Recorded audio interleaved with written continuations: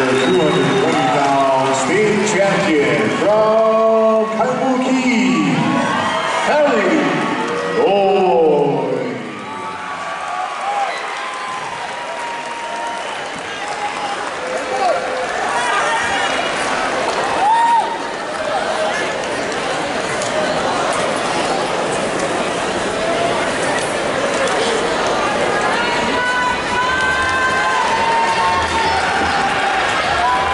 Time, we'll be resetting the main arena floor for the award ceremony. Once again, let's give a nice round of applause for all our wrestlers. In our final round, our champions, our third place and our fifth place finisher. I didn't even know they had wrestling.